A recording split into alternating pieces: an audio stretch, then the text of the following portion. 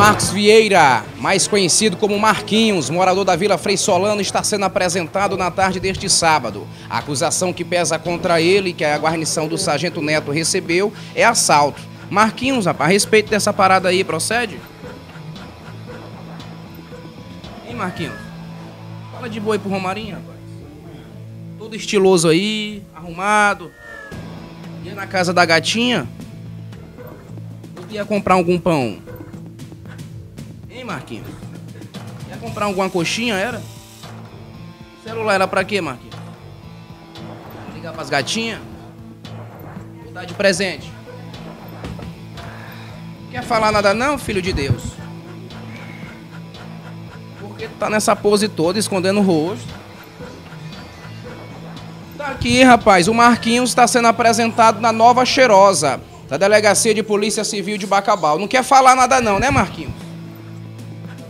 Aqui ele curtindo o ar-condicionado do número 15, rapaz, no plantão central. A delegada Maria Augusta vai ouvir ele. Ele foi em uma padaria aqui no centro da cidade de Bacabal, mas não foi para comprar pão nem docinho de coco não, minha gente. Ele foi foi para praticar o assalto. E aí a população agarrou e chamou a guarnição da equipe da Rádio Patrulha. A casa caiu e Marquinhos aqui perdeu a língua, porque ele não fala nada, mas na hora do assalto é igual uma onça.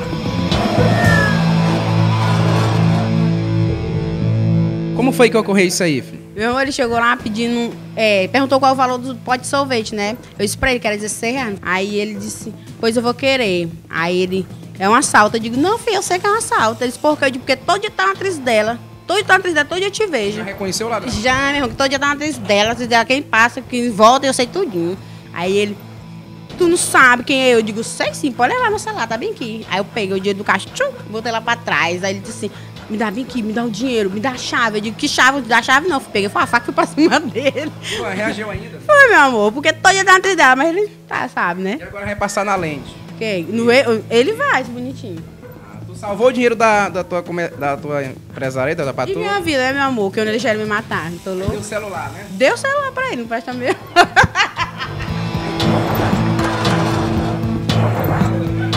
Sargento Neto, panorama geral dessa ocorrência aí. E essa ocorrência ali, era, ela se deu bem ali na Praça do Bolo, aqui no centro da cidade, onde o conduzido aqui, o qual vocês já é, falaram com eles aí, ele se negou até a prestar algum tipo de esclarecimento, o corrido, e de imediato é, ligaram lá para o quartel e passando é, é, o, tava, o que aconteceu ali na praça.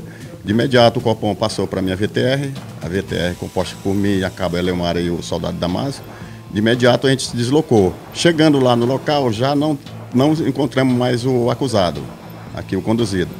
É, saímos fazendo uma- umas rondas e pegando algumas informações po- populares. Aí disseram mais ou menos onde ele encontrar. Aí quando a gente já ia voltando, a gente fez uma ronda ali pela, pela ali a ponte da met- metálica, que poderia ser de lá da atriz dela, né?